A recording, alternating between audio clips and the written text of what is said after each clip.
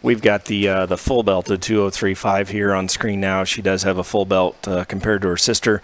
Uh, again, the 203s are out of then and now, and uh, then and now is the the Hoff Schulte boar um, that we own with with Sloan and Hilty uh, and Hoff Schulte. He's an in-game hero, dirty secret. These 203s. Um, when I talked the other gilt, I, I, I missed uh, missed the sow pedigree. This sow is actually a kingpin uh, Dirty 239. Uh, the the mother, or I'm sorry, she's a Baskin Kingpin Dirty 239.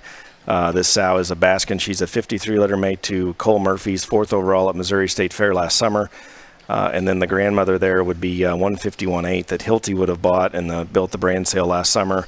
And then the old patriarch, um, matriarch, excuse me, Dirty 239 sow there on the bottom side. So 2035, she's a then and now Baskin good stuff here. And I think this one really um, kind of brings forth the quality that uh, you know why this then and now thing has worked and looks like it's going to continue to work. Is I mean her skeleton is is absolutely is absolutely on point to me.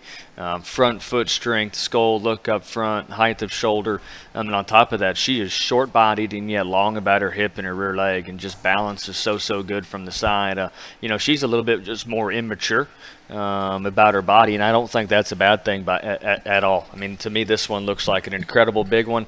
Um, her build's good, her looks good. Um, no, no real big questions or concerns here. Just get this thing fed, get her transitioned, and I think you're going to have an incredible type of a show gilt.